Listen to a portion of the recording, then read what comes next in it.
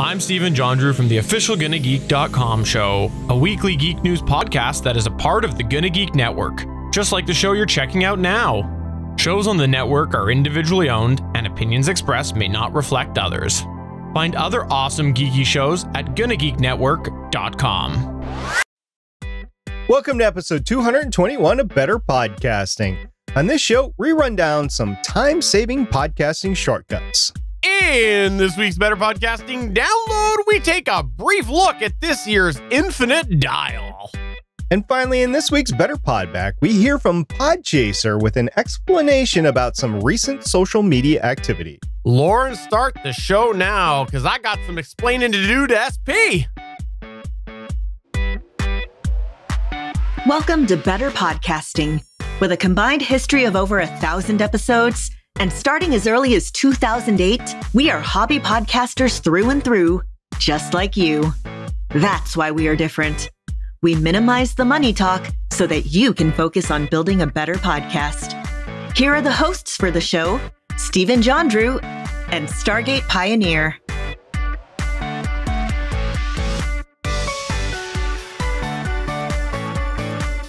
Welcome to an all new episode of Better Podcasting. I am Stephen Jondrew, and I am pleased to say that SP's here again this week. I am. And, you know, as much as I would like to be the first voice that everybody hears during the main episode, I'm glad that you start off the episode every week because I don't have to worry about screwing up. I feel like we need to change this now. I really do. Uh, you finally caught on after exactly. 220 episodes. I know. Uh, we're here to talk about some fun podcast ideas of how you can make things a little bit easier with your podcast. We're going to talk about that in, in a minute. But before we get there, we want to mention we have a little thing we do at the top of the show when available called How I Save My Podcast. How I Save My Podcast is all about you telling us something that went wrong with your podcast. We want to know what went wrong and how did you fix it. The idea behind this is we can all share with each other that things sometimes do happen, not necessarily to our favor and we can sometimes climb out from the rubble and restore our podcast, make it better, fix it, save our podcast. So we encourage you to send us those story, and we have a little bit of a uh, a question this week, right, SP? Yeah, this is late breaking news today. We got a tweet today, earlier today, and it was from the Why Do We Read This podcast. That's at Why Do We Read This on Twitter. And the lady sent a tweet. They said, at Better Pod, how about a How Do I Save My Podcast? I'm freaking out because I accidentally deleted the wrong Audacity data file and it's not in my trash. So I've been here before and I simply asked, Did you save the original file? They came back with, Yeah, but it was a mess because I renamed the file. Lesson learned. We were able to recover all but a couple of minutes eventually. Married a techie, so that helps. I just did voiceover for the lost section. So a few lessons learned here. Number one is always have a backup. Number two, never use the actual file that you have recorded in your uh, the, the the the DAW to do editing on. You always save another copy to do editing on it so that the original file is still there if you need to do it. And then three, yeah, do voiceover for the lost section if it's only a couple of minutes. Yes, I couldn't agree more, SP. Also, it's kind of a little bit fun when you do save your podcast by re recording it because if you do it well and you line up the tone and the delivery, which sometimes takes many different takes, you know that it happened. Your audience doesn't know. And when you're listening, you're like, hee hee, hee that was me from another day. I usually giggle like that. Yes, that's true. It is a pain because you try to match the voice timbre and the sound and everything. And especially if you're sick, like Steven, eh, have fun replicating yourself, future Steven, because you're sick today. You're probably not going to be sick in a couple of days. That's hopefully the case. Let's go ahead, though, and move on to our featured segment.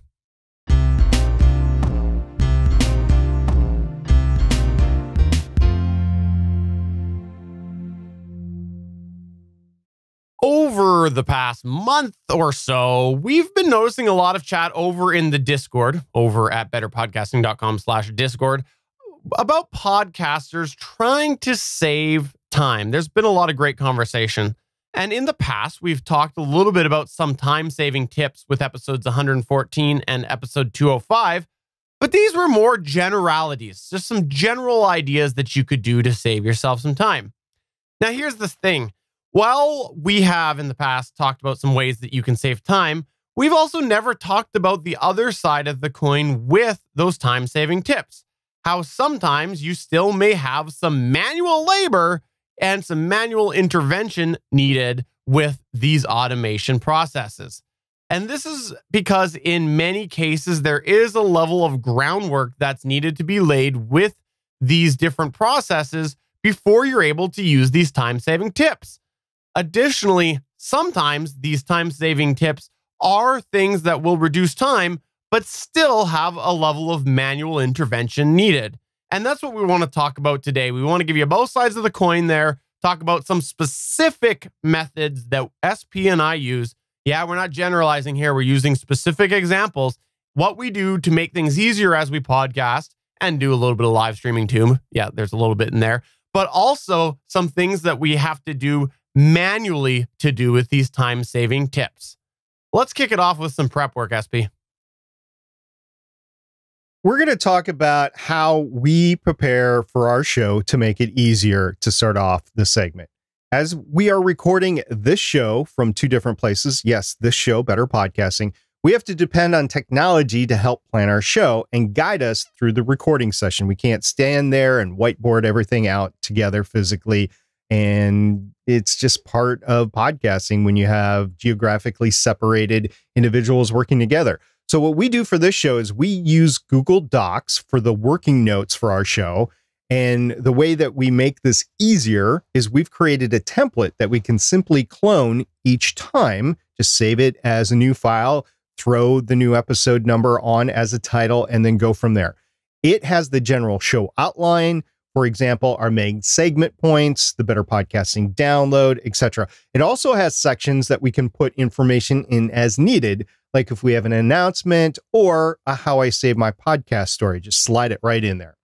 But while we have this right now, we had to do a lot of work to get to that point. If you take a look at our earlier show notes, Stephen, I don't know if you've gone back, back and looked at them. They're just atrocious compared to the finely tuned machine that we have now. First, we had to try out some different layouts before we found the one that worked best for us. But beyond that, it also kept evolving with time. For example, when we first added the How I Save My Podcast segment, we had to modify the template to have it in the same place every week. However, there are many other continued manual things that we have to do with the document. First, obviously, we have to populate with the content each week. This is discussion points, the better podcasting download, copy and pasting feedback into the document so we have it there. But other things that we have to do manually with it include adding filling information such as the date, episode number, etc. We also have to organize this document manually. For example, we have this on Google Drive, but then we need to move it to an archive folder occasionally, not just one, but a bulk of them. We move over to an archive folder. And we also have to manually name it and when we name our document, we actually include the recording date for our organizational purposes. Say, like today, we're recording on a Friday. We usually record on a Tuesday. This is for our historical reference. And this is because sometimes we have multiple weeks documents simultaneously working. And when we do this, we have to manually do all the actions that we just talked about. The manual organization of the document does help us to refer to past content that we covered. For example, at the beginning of the show, Stephen mentioned that we covered time saving tips in episodes 114 and 205. What do you bet that Stephen actually went back and searched our documents for time saving tips? Stephen, did you do that? No, I used my time machine. That was the easier way. Well, that's the other, yeah, except for creating a time machine is not easy. But another big way that we make our prep easier is with our equipment and setup each week. I'll start us off. As we mentioned, we live stream this show through video. Now, I'm the one that actually does the streaming aspect, like the technical streaming aspect. And as such, what this means is I connect with SP through a ses- session and then do a bunch of things to make this streaming happen on my end. Now, while there's all sorts of technical fine details that I could share to do with this, I'm going to just share one that share one that's I think is probably most applicable to people listening or watching the show. And this is all to do with me having to set up the live stream details each week. So I have to go and set up the details each week for the live stream.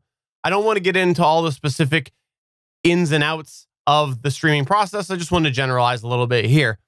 This means that what I have to do is manually input an episode title to go out to the broadcast and make sure that it's streaming to various locations because we do stream this to multiple locations. One of the ways that I've made this process easier is by using a service called Restream. It's essentially a service that I send one feed to it goes and sends it out to a bunch of different places. And what's nice about that is there's an ability for me to go and set this information, this title, just with one click. So I put in the, the keystrokes, hit update, and it updates all of these different locations. Makes things quite a bit easier. But the other side of the coin here is I, we also stream this over on geeks.live somewhere that I have to manually update as well. So I have to go and I have to find the YouTube URL. I have to put it over there and also update that page manually because it's a secondary piece. So there's still manual work in there, but I've saved my time using Restream. And another thing that I want to just quickly touch on here, because I do know we have some people who do video things, is I make my live video aspect a lot easier by using a couple of different tools. Number one, I have a backdrop that is full of different colors and I have different lights, and it's usually a den when I'm not podcasting, but then the lights change. Well, I use smart lighting to help so that I just have to essentially give one command to my voice assistant and it changes it all.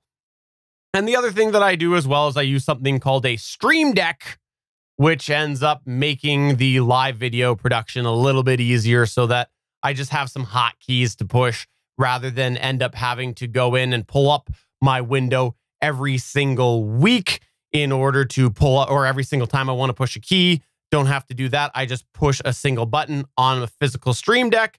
But there was manual work that was needed with both of these things as well.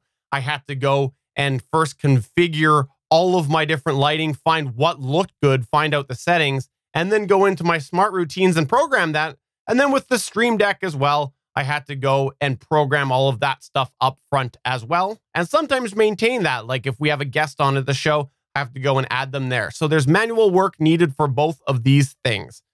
Now, I could also talk a little bit about my audio setup, but I will defer to SP for that as well. Before I get to the audio setup, I'll just say that when I stream Legends of S.H.I.E.L.D., which is a video and audio streamed recording, it takes me about an hour to set up everything. So as much as everything has been streamlined to do automation and do programs, so I don't have to do a lot of stuff. It's a lot of work on the forefront of setting everything up. So it's about an hour before we go ahead and stream. And that is with using templates all the way in the future. So we're going to talk about the audio side of things. And this is if you're streaming live or not. First and foremost, I feel like I am a little bit old school now because there's a lot more digital tools and hardware tools that might make a little bit of this easier, more simplistic, or at least a lot less gear on my desk. But this is what I use. And if you started podcasting a couple years ago, this was kind of the best gear available to go ahead and do what we do. I use a Zoom H6 as my main audio recorder. I do multi track recording through it. So I record myself on one track, I re- record my soundboard on one track, and then I record everything that's coming in on a third track. So I'm at least using three tracks every single time, and I'm isolating at least three things every single time. This also means, though, since I'm using the H6, I have to push the record button. If I don't push the record button, nothing gets recorded and I have to go to one of the lesser quality backups I have.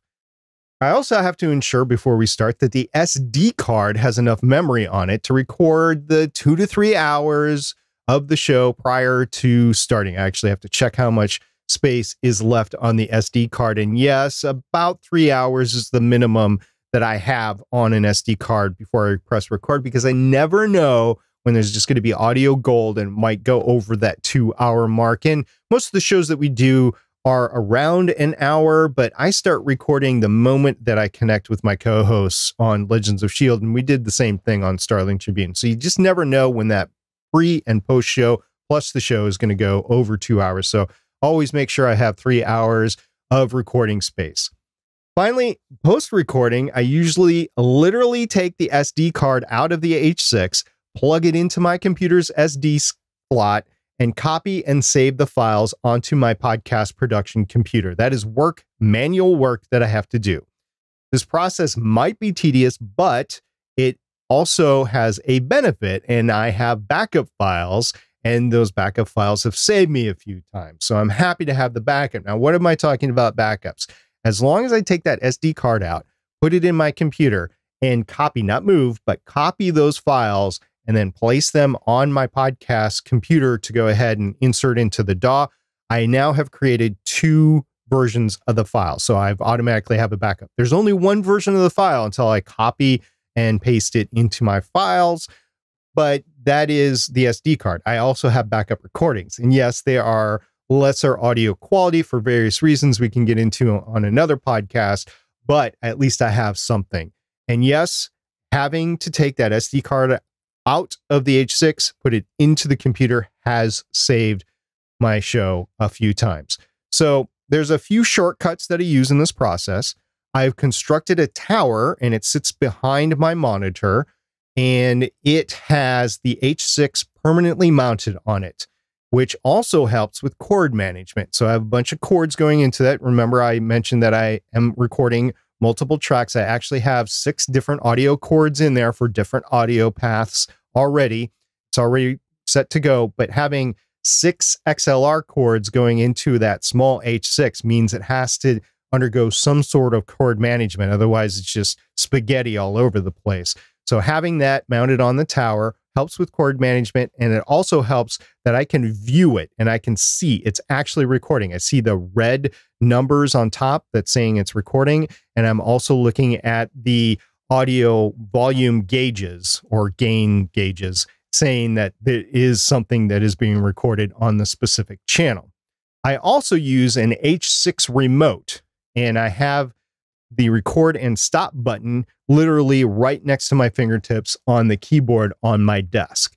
So being able to have that clearly in my eyesight, being able to have the start and stop button clearly right by where my right hand is every week, every time I record, it's been a time saver. So I don't have to get up on my chair, reach over everything, and press the record button on the H6. These are time saving tips, having your setup organized in a way that you can quickly get to everything and have it the same every time. More on that later. Secondly, having a common share file or file sharing system prior to recording the episode to share the recording files with your co hosts is a great help. This is if everybody does a local recording. I know not everybody does this, Usually, the best thing that you want to do if you have regular co hosts is everybody records on their own end, even if it's with Audacity, you know, whatever recording program that you actually use, have everybody record a backup at their end. Make sure that you have a common place to put those files so that everybody just knows where to go. For example, Legends of S.H.I.E.L.D., Michelle does a document about a day before we record she places the OneDrive folder link in those show notes the day prior to where we record. So afterwards, we can just all throw our files in there, and then whoever's editing can go ahead and pick up those files and just go whenever they want to. Everybody just knows to do this. When we stop recording, everybody throws their files over there.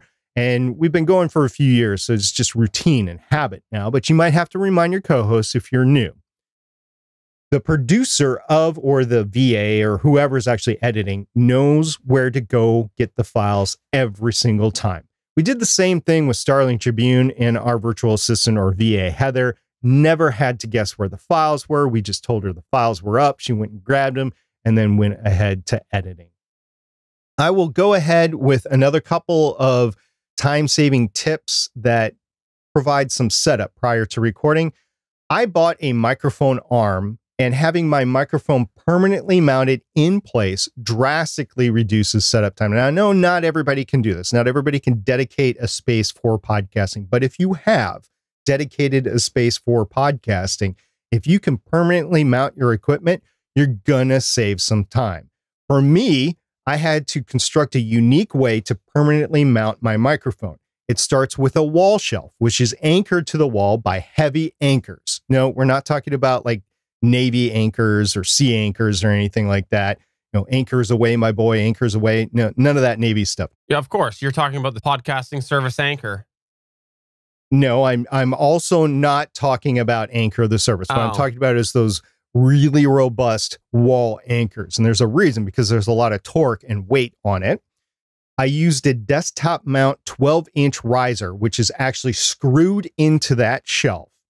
I've used a professional level boom arm. It's the Heil PL2T. I've used it since 2014. I haven't had to replace it yet. It's held up well. I know eventually I will have to replace it.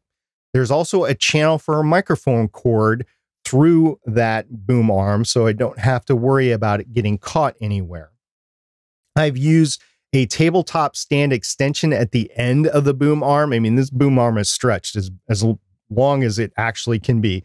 And I'm using a three inch Shure extension for the mic flag. So there's a place for the mic flag. And I can clearly say, like on this show, Better Podcasting, if I'm on Gonna Geeks, the Gonna Geek Show, and if I'm on Legends of S.H.I.E.L.D., it's the Legends of S.H.I.E.L.D. logo that's sitting up there. Every week, I just pull the microphone in and turn on the preamp, and it's ready to go. And after I'm done, I just push it away. But that was a lot of prep that I had to do to get to the point where I could just pull the microphone in, turn it on, and be ready to go. Finally, what I did is I installed a rack mounted power switcher, which allows me to turn off and on systems that I want. We're talking about preamps, my compressor, my mixer, the speakers. Yes, I don't want the speakers on when I'm recording, so they are off. The lights, the, my actual podcasting lights, and all I have to do is reach over and turn the switches on and off. Now, I will tell you that there are two switches on there that I don't want to turn off when I'm podcasting, and I have before. They are the switches for my modem and for my router. And what I've done to mitigate that is I put in marine safety switches there so I can clearly feel that they are different switches. And Steven right now is shaking his head at me because he remembers the Gonna Geek show that I literally turned them off mid show. And I was just trying to show that I could turn off and on my lights. And this is before smart switches, by the way. And it- yeah, I took me a good 15, 20 minutes to get rebooted up because it was before the day of SSDs and quick boots up, and the router modem took forever to recycle too. So, yeah, these are all time saving tips that I have done to just be able to sit down and podcast and record. I could do it in like 15 seconds or less, really. So, I am grateful that I've done all this, but it was a lot of work to set up to get to this point. But since I podcast three to four times a week, I can just sit down, rip it, and grip it and go. And when you are ready to go, you're going to start recording your show, which is the next category of tips that we have. And let's kick it all off here talking about a little bit about the way that we have made it easier for ourselves to record our podcast. And this has a lot to do with some of that equipment that SP just mentioned a second ago is we have made our recording process easier by creating a clean signal chain for our recording. Now, one of the biggest ways that we did this was by using a DBX 286 audio processor. We both do this. This adds a little bit of noise removal by using the gating function, adds a little bit of compression and a little bit of mild EQ, more or less. But here's the thing while you'll find all sorts of podcast advice givers recommending the DBX 286, what you might not hear commonly talked about is that it's not so easy to set up. It's not you take it out of the box and you're off to the races. This is because all of these different functions, while there are not many, do end up adding up to a whole plethora of different possible sound. And so you have to take some time to dial these all in and find the right balance for your voice, equipment, and just general personal preference. In fact, this varies so much that every time SP and I use a new microphone, it takes us forever to find what we feel are the optimal settings on the DBX 286 for our voice with that microphone for the desired sound that we have. This is something that we every single week or every single episode we record end up making a change if we do start using a new microphone to try out. This is a lot of manual work that is done up front and sometimes ongoing. But once you get there, it's a lot easier because it saves you some other things down the road. And definitely, we're big advocates of the DBX 286, but it's not pull it out of the box and go. It takes time to find the right sound. The DBX 286S is not the only bit of hardware that we use, and it's not the only bit of hardware that you can use for those functions that Stephen was mentioning. However, it is by far the least expensive of the options. I mean, there's a lot of digital stuff out there, but it's all more expensive. So it just depends on what you want to do, ease versus expense. Some of the other hardware that has helped at least me later in editing are things like pop filters and windscreens. Plosives take time to take out of your recording, or it takes money with a good plugin. And I haven't found a good plugin yet that will take just the plosives out of your recording and not affect everything else. And a pop filter can definitely help reduce that editing time. You don't have to go in and take out like the lower end bass of every time that somebody says a P or a B or a T or C, something like that. That happens from time to time. I have a couple of co hosts that they just get out of whack and they get into their microphone at a certain angle or get too close or they get too excited. And then all of a sudden, the next 5, 10, 15 minutes is just a bunch of plosives every time they say P, I've got to go in there and reduce the bass on that, which is basically the air puff that's going over the microphone. So, say anything under like 150 megahertz or something like that, I have to take out and it reduces the the pop. So if you're in your car listening to your podcast and you've got the you know car with a good bass system on it or something, your ears aren't blown out every time that somebody says he. So having a pop filter and a windscreen can help mitigate it. It's not going to completely reduce it, but it's going to help mitigate it. Another thing that has helped me in editing is monitor what you're recording real time. I am wearing headphones now, and Stephen are generally wearing in ear monitors. So we're both monitoring our sound when we record. I don't have my headphones plugged into my computer or my mixer. They're plugged in directly to the Zoom H6, which is what is actually being recorded. This helps me isolate audio artifacts. Haley, for example, on Legends of S.H.I.E.L.D. a couple months ago, started developing some audio chain issues. Instead of actually going ahead with the terrible audio, we mitigated it by having her switch in the stream to her webcam mic. And that is a workaround for now. It meant that it was at least listenable for everybody that was listening to the live stream. And her recording is still the good audio that's being recorded on her Zoom H5.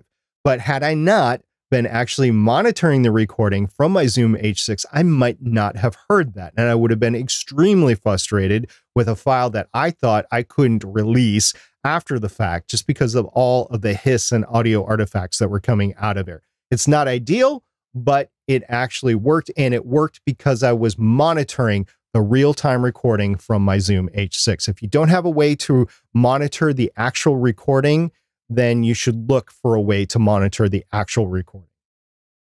Now, you were just talking about some of the ways that you can make things easier in recording to make your life easier with editing. But how about when you get to that actual editing process? Yes, we have some tips for saving time during the editing process. We're big advocates of editing your podcast. First thing that we want to mention right now is very similar to one of the first things we mentioned this episode, which is using a template for editing. Essentially, we've set up a way that in our editor, we have a session that we can go and duplicate each week that has a bunch of things that are pre done for us. For example, we both use Magix Vegas Movie Studio in the process. And in there, you can add a bunch of audio effects to each person's track, like EQ and other things. So instead of having to go in and apply those each individually to each person, each episode, we have a template set up that they all have these effects on there. So we're just copying the template, when we open up the template, oh, look, everything's good to go. There's a bunch of other benefits in there as well because of the fact that it has all of our sounds preloaded that we might use, like the bumpers and the stingers, the pre rolls, all this other stuff, and just a general familiarity, the way that every track laid out so that each week we're editing with, say, SP as track one, me as track two. Actually, I'm usually track bottom because let's be honest, even the the music bumpers and stingers are more important than me. So we are using the same process each week. And again, that just helps with making things easier as you edit. But it took manual work to get there because of the fact that we had to set up these templates. We had to figure out what was going to work and we had to make sure that that was applied in there. And sometimes we have to make changes. For example, we may have to go in and change the compression for somebody if they have changed their mic setup. Each week, every single episode that I do, I go and I take a look at the compression that we are adding to our individual tracks for this show because sometimes something might change and I want to make sure that I'm using a certain amount of compression, relatively speaking. And so if all of a sudden SP on his end goes and turns up the gain on his microphone, I need to go in and manually reduce that on the audio track so that he sounds sort of the same level of compressed each week rather than sounding over compressed or not compressed enough.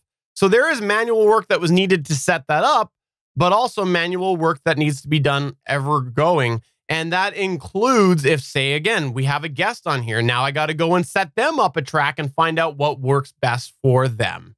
So it's not automated all the time, but it saves a heck of a lot of steps. Even though I have the template in Movie Studio, I go in and make sure that I'm import, inserting the correct compression levels on Gmax because otherwise I either blow it out or it's just not going to be loud enough in comparison to the other tracks. So that's manual work that I do every week. However, I will say I do it by sight. I will see how big those waveforms are and I automatically I just say, okay, I've been doing this for a while and I can say, okay, that's going to be 6 dB again, 9 dB again, 24 dB again. I already know just by looking at the track how much gain I need to throw in there to equalize everything. So that comes with experience but I still have to go in every week and make sure that those levels are set. Otherwise, the file that I'm going to render out of Movie Studio is not going to be great. Another way that we help ourselves is by using keyboard shortcuts and hotkeys. Using keyboard shortcuts instead of a mouse can be a way to make things happen in a faster manual. For example, deleting a section, switching editing tool, etc. I'll give you three right off the bat that just saved me an immense amount of time. First of all, when I'm in movie studio, I use M marker, and that sets the specifics point that I have to throw in the bumpers, the video bumpers, the audio bumpers, and where the audio starts and stops. Using that M key for the marker really helps my editing speed and really smooths that flow. So that's one. I'm going to move on to, into Audacity.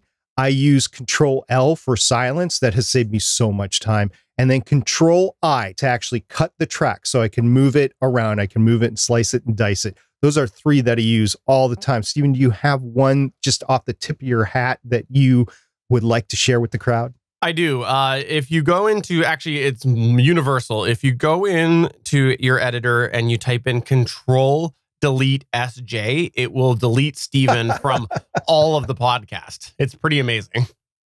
I see. well, well, so, sometimes this could be enhanced further by using hotkeys or macros, essentially a command that allows a series of action to happen, just like Stephen was talking about. In both of these scenarios, there is manual intervention that is needed along the way. With simple keyboard commands, there needs to be research that is done to figure out what the commands are. This could be a matter of using a manual, looking up a video, etc. However, as keyboard commands are plentiful, there also may need to be something set up to help remember these at first. For example, creating a note that you can reference as you get to remember which keyboard command does what. We've definitely done this when using a new program. As for the hotkeys or macros, this will vary depending on the method. You may have to set it up within your editing software. It could be a piece of software to do with the keyboard. And Stephen's got an example, and so do I. So, Stephen, why don't you start?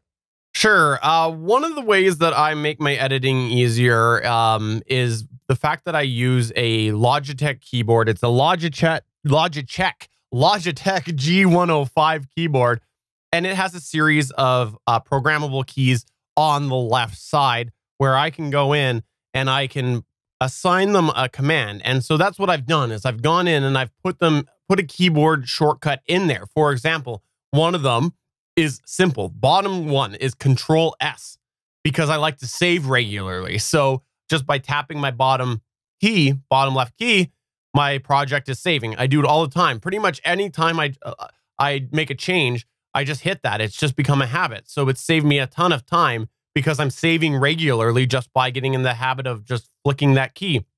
Another one that I do as well is that in Magix Vegas Movie Studio, to delete a big section of time, essentially taking a, a big uh, like gap, for example, maybe I've taken out a big discussion point. In order to collapse all of that information, it's a series of keyboard commands that are needed.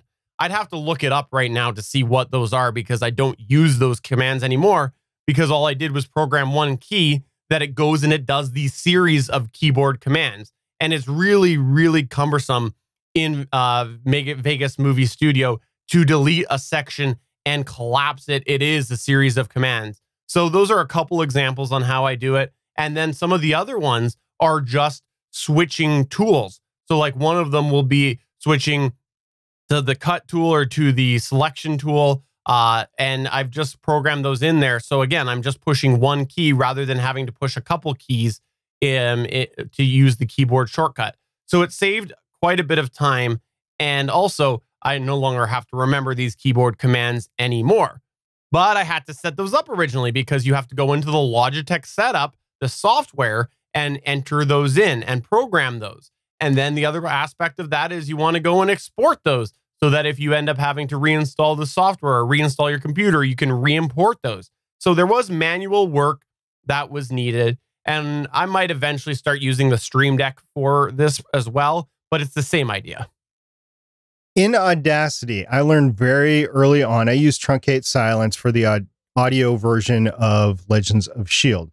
And I learned very early on that in the version of Audacity that I use, I didn't have a shortcut key for that. So I created one.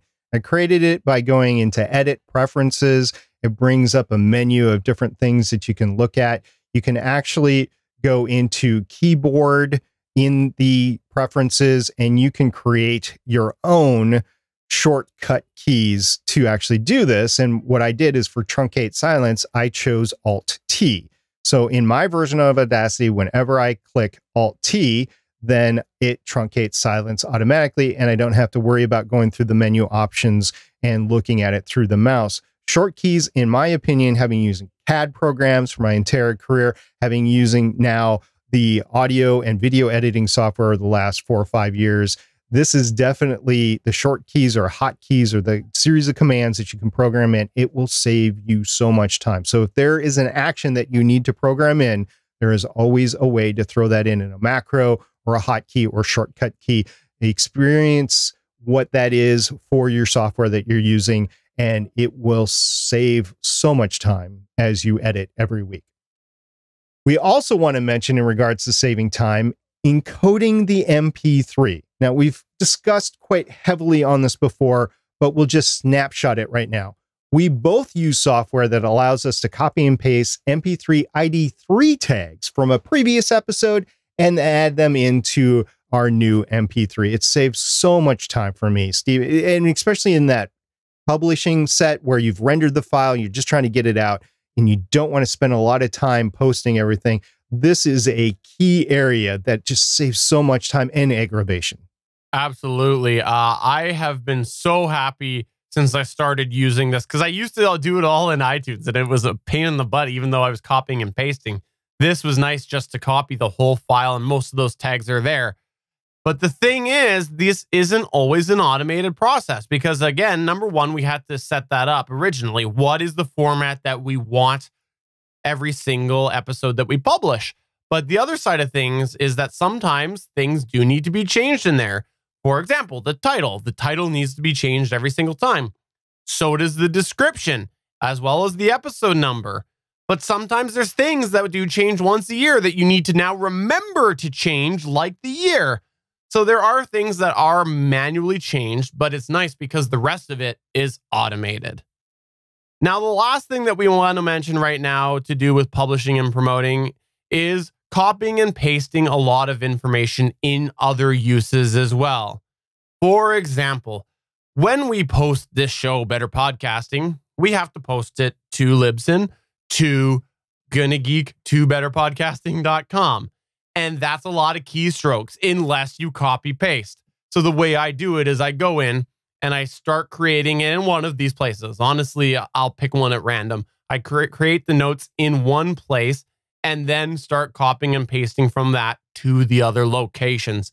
It saves a ton of time, but again, there is some manual work needed because not all of them use all of the same formats. For example, we have all of our show notes, the things that we reference on betterpodcasting.com, but we don't have them on Libsyn. So, if, say if I pull up Libsyn and I start typing in there, then I have to go paste that over to betterpodcasting.com and then start adding other notes below that, the manual uh, typing of the links that we've talked about, etc. When I start my show notes for the post for Legends of S.H.I.E.L.D., what I do is I go to a different program which has a template in it.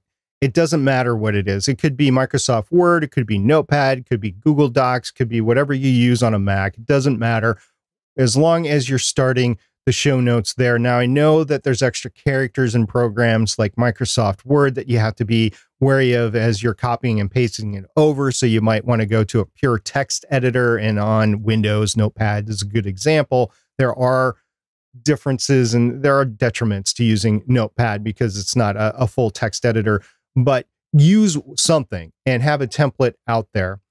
And then you can go ahead and copy and paste into everything. Sure, you're going to be changes like Stephen mentioned, but if you don't start in any of them, you can make the show notes that are universal and then you can just pick what you need and then throw it into whatever system you're doing. Like he was talking about Legends of S.H.I.E.L.D., for example. Let's take that. I post that on Libsyn, I post that on Gonna Geek.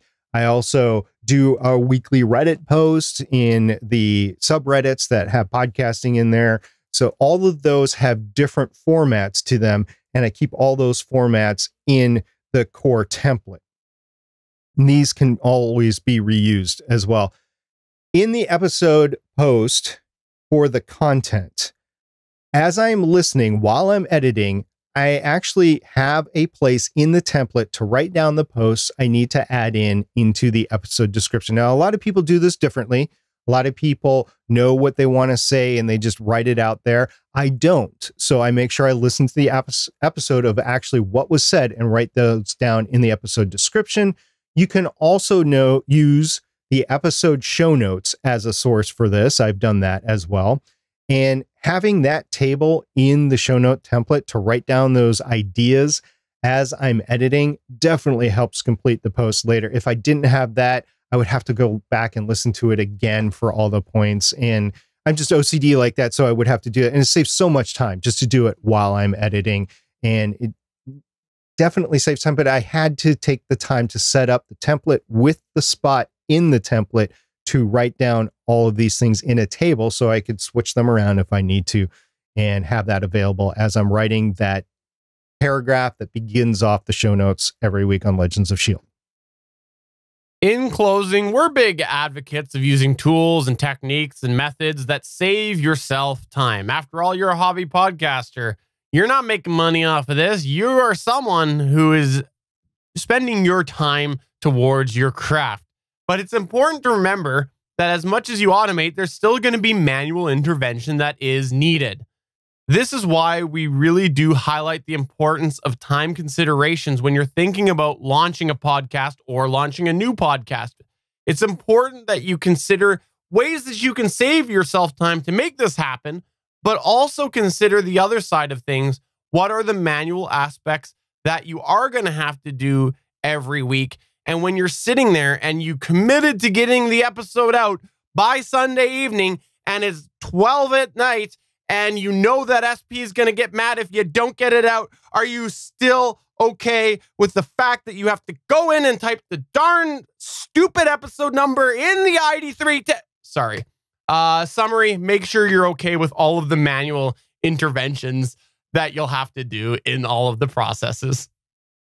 to that, all I have to say, Stephen, is you lobbied and asked to be the one that actually posts most of the episodes. So that's on you, buddy. You're the one that took that on. Let's download. All right. This is the Better Podcasting Download. I'll be honest with you. This week has been incredibly busy for me. And usually I try to take time off to listen to the Edison research, the infinite dial. This week, I could not take that time to do it. And I couldn't even take the time to actually watch the replay after the fact. But what I did is I went in and I saw their slides and I perused through the slides. This is a study that is done every year now and has been for the last like 20 years or so. I forget what the first year was that it came out, but it is billed as the longest running survey of digital media consumer behavior in America. It has been going on since 1998. So I just answered my own question right there. We're talking about 22 years here. Not all of them, of course, have had podcasting in there because podcasting didn't start until 2004. And these uh, Infinite Dial didn't include podcasting until a few years later. Now, the Infinite Dial does track mobile behaviors, internet audio podcasting, internet audio, podcasting, social media, smart speakers, and much, much more. The study methodology is that in January or February every year, and this is 2020, Edison Research conducts a national telephone telephone survey. This year it was with 1,502 people aged 12 years old and older and they use a random digit dialing technique to both cell phones and landlines. The survey was offered in both English and Spanish, and the data weighted to national 12 plus US population figures. So you're talking about people that are 12 years old or over, which is what I would think you'd be interested in with podcasting to begin with. Now, we're not going to talk about the entire survey. It's 70 plus slides of information and a wonderful presentation that the guys do every year. But what we're going to do is we're going to focus specifically on podcasting because that's what we're talking about here is podcasting, more specifically hobby podcasting. So the first thing that caught my eye was audio sources currently ever used in a car and the verbiage on this stuff, you just have to get used to it. So what we're talking about is anybody who's aged 18 and over who has driven or ridden in a car in the last month which was in this case 89% of that 1500 people that were contacted. And they had podcasts on there from 2018 through 2020. So we're talking about the percentage of people that answered the survey that have used audio sources in a car. The different ones were AM, FM radio, uh, the digital music that you own, a CD player. Yes, CD players are still pretty huge here. Online radio, podcasts, and Sirius XM. Just with the podcasts alone, in 2018, you had 23% of the respondents say they have ever listened to a podcast in a car. In 2019, that went up to 26%. And in 2020, that's 28%. So this is not accounting for people not knowing what a podcast was. You know, maybe previously they listened to a podcast in the car and they just didn't know about it. it sounded like talk radio to them or something like that. But this is them knowingly listening to a podcast in a car. It's still showing an increase. And I think, especially when you're talking about CarPlay, Apple CarPlay, and uh, what is it, Google Car? I forget what the Google version is. Google Auto, Android Auto, Android Auto.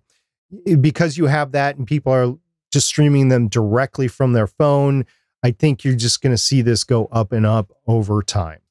And I want to put some context to this. This is the aspect that I thought was pretty interesting because when you when you think about that at first, you're like, ah, 23% versus 28, eh, whatever.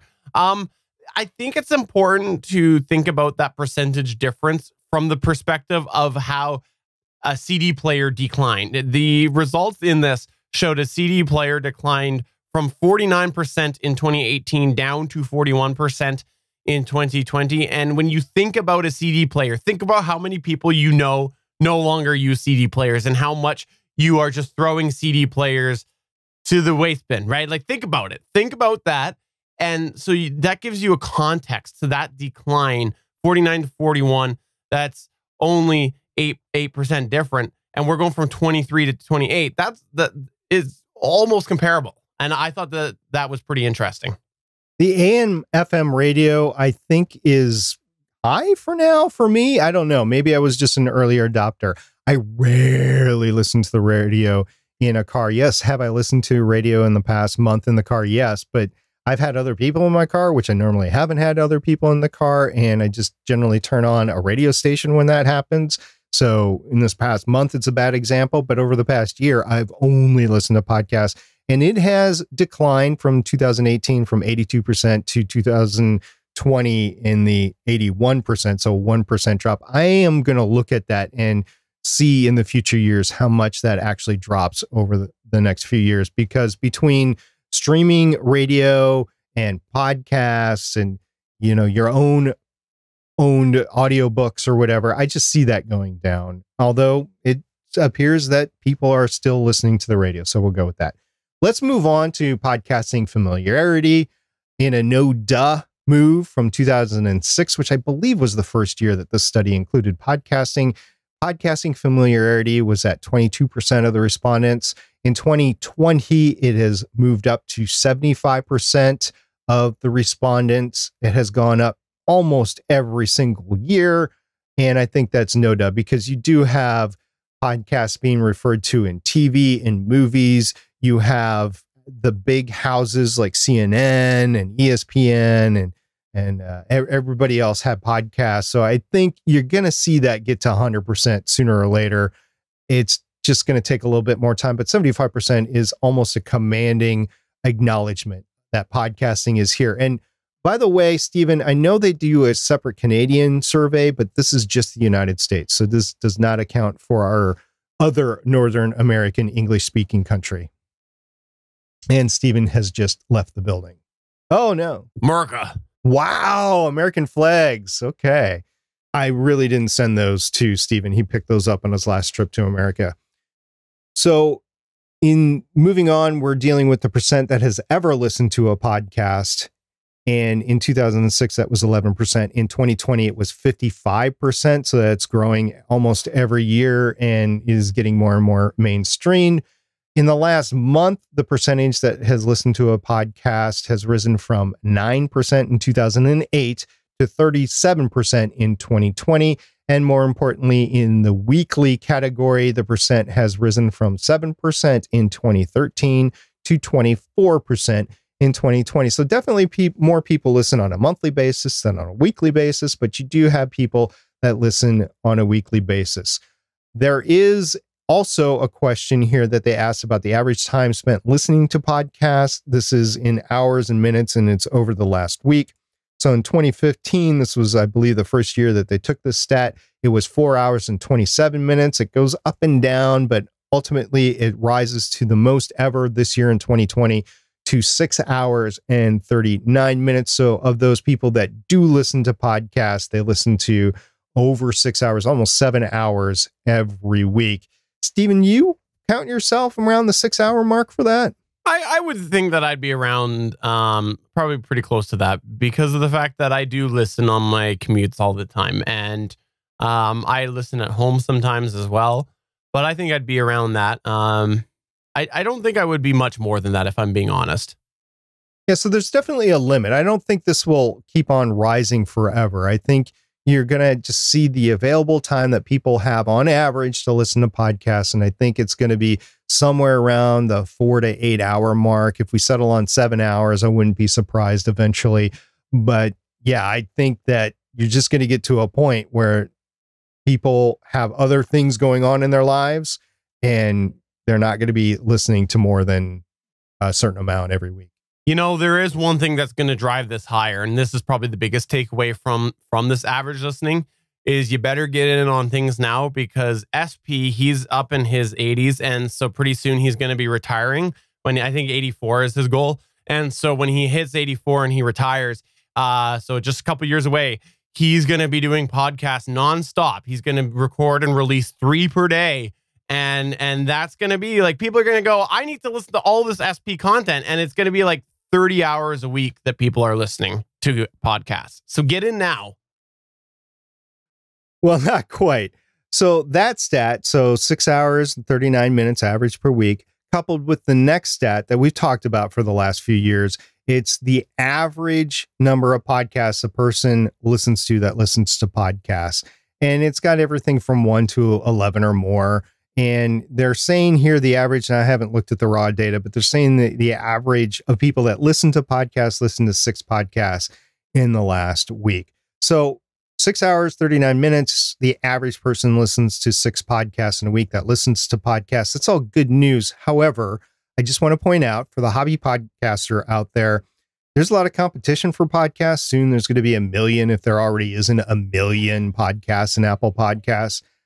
There's competition to be one of those six podcasts or one hour out of that six hours, 39 minutes. You got to make the best show that you can make in order to work your way into somebody's regular routine. And you are competing with the big boys out there and, and even the independents that have been out there for a while, like Tom Merritt. I mean, you have to compete with that. If you're doing a tech podcast, you got to compete with that stuff.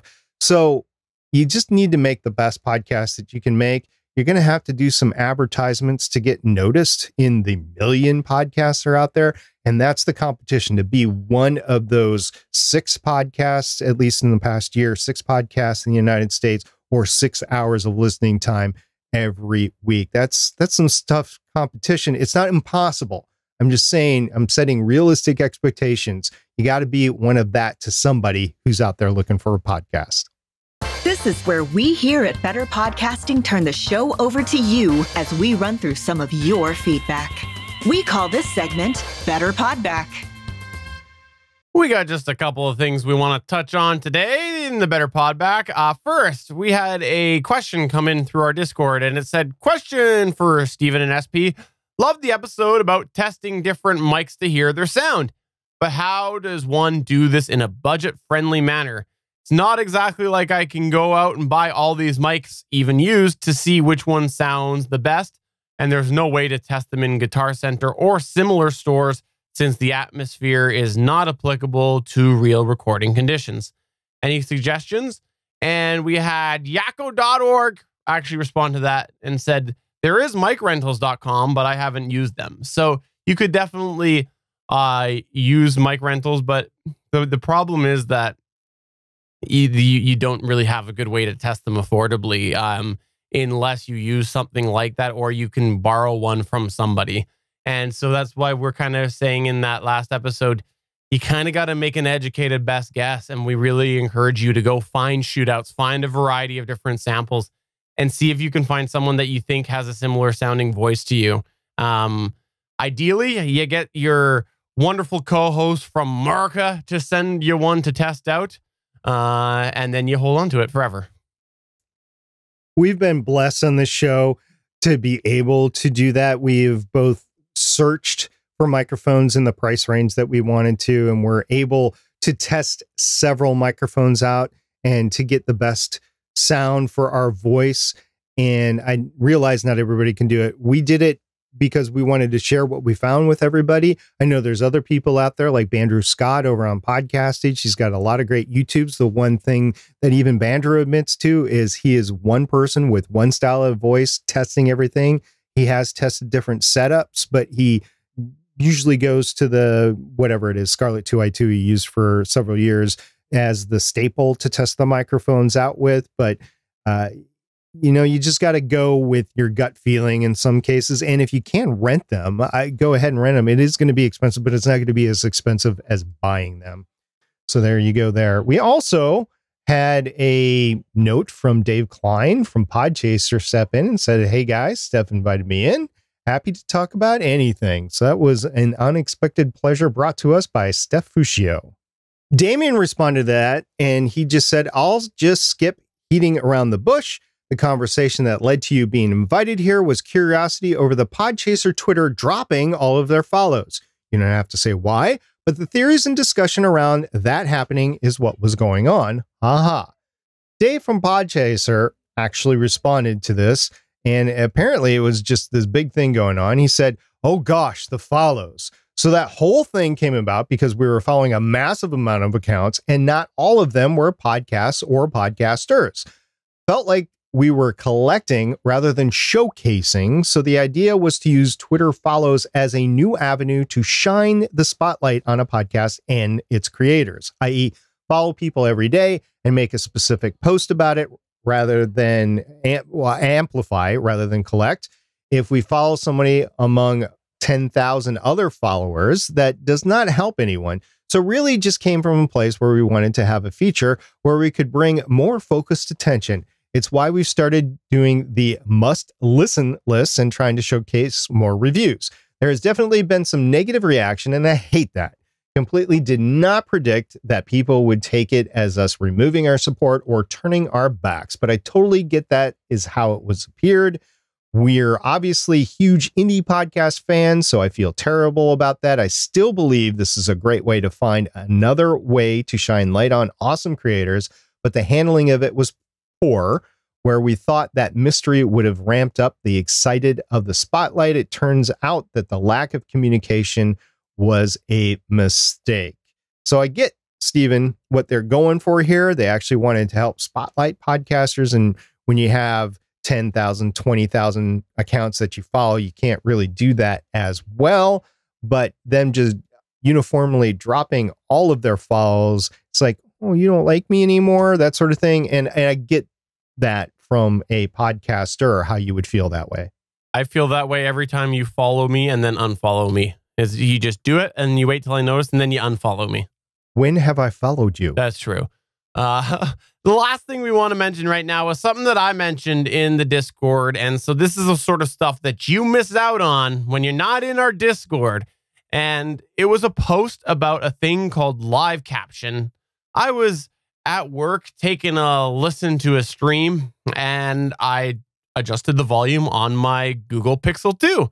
And I saw a new icon and I went, "Was this icon? So I pushed the icon and it turned out it was a thing called live caption. Essentially, in Android, for many devices, they have now baked in a thing called live caption where it detects speech and media and then on the fly generates caption.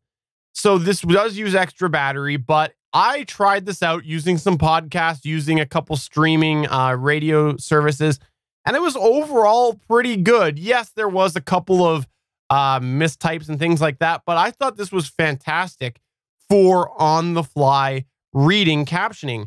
And I thought this might be really handy for someone who is listening to a podcast, say on a bus or something like that.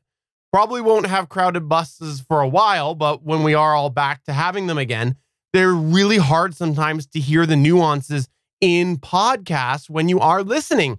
And so turning this on will give you a little bit of a caption where if you miss something, you might be able to refer to it. And there's no generation of subtitles or generation of transcripts that you're needing to manually do. This is something where the listener might have this ability so if you listen to podcasts and you've got your phone near you and it's something that you think might be handy, take a look to see if you have this live caption function available on Android. Uh, I again, I was pretty impressed with what I was seeing. So I wanted to mention it right now. And yeah, we had a bit of a chat about that. So head over to our Discord at betterpodcasting.com slash Discord. Now, before we go, SP, let's turn it over to you. You mentioned this in our live stream last week, but you you deserve to promote it in the true show, the Better Podcasting episode 221, or should I say, Sire, because I feel like you're royalty now. I, I believe it's Your Majesty that you should use. Oh, fair enough. In all seriousness, I had the honor of being invited onto a podcast called The Pod Lords by Jim Harold. Jim Harold's been podcasting since I believe 2005. He's one of the OG, I consider first generation OG podcasters out there. He created a podcast about podcasting called Podlords. I was on the 32nd episode of that, which you can find at podlords.com. And it was just a blast talking to Jim. Now, Jim is an independent professional podcaster. He's actually a stay at home podcaster. He does many shows a week, but he did want to have me on to talk about the hobbyist standpoint we actually went back and forth between them, and it wasn't a debate. We were just talking about the pros and cons of hobbyists and professional podcasting and, and independent podcasting as well, and our concerns with the space in general from all of those perspectives. So if you want to check that out, go to podlords.com. It is episode number 32. And I just want to thank Jim again very much for having me on. And Stephen, we did mention at the beginning of the show that he did mention at the beginning of the show that he's looking forward to having you on sometime in the future. And I look forward to hearing that episode when it actually airs. Well, congratulations on this, SP. Uh, you truly did a remarkable job and you deserve to be on there. And uh, yeah, pat yourself on the back. And I know a lot of people have really enjoyed this. So great job. And thanks for representing better podcasting on both of our behalf. Much, much appreciated. And again, Pod Lords, check that out. But that's going to go ahead and wrap it up for episode 221 of Better Podcasting. If you want to come have a little bit of just general chat, geek chat, podcast chat, come to betterpodcasting.com slash discord because we do have a bunch of other chat rooms there because this is part of the Gonna Geek Discord. So we have TV talk, we have uh, sci-fi talk, we have drone talk, we have just general talk. And I know right now a lot of people are looking for just general places to communicate with others digitally. And we would love to have you over there. If you want to talk podcasting, come to the Better Podcasting section. But maybe you want to talk about one of the other fine topics that we've got available to talk over there. My personal personal favorite section is the channel that is dedicated to SP's beard. Lots of beard love going on over there. As the beard is set to come off probably before we podcast next time. Then it becomes a little bit of a, a memory channel. It's just until the next time we in, talk about our fond memories. In memory of yeah. until October. Yeah. Exactly. There you go. On that note, for episode 221 of Better Podcasting, I'm Stephen Jondrew saying, SP, I guess I need to bow to you now. And I'm SP saying, for the next few weeks, my wife will be cutting my hair. We'll talk to everybody in two weeks. Bye. Bye.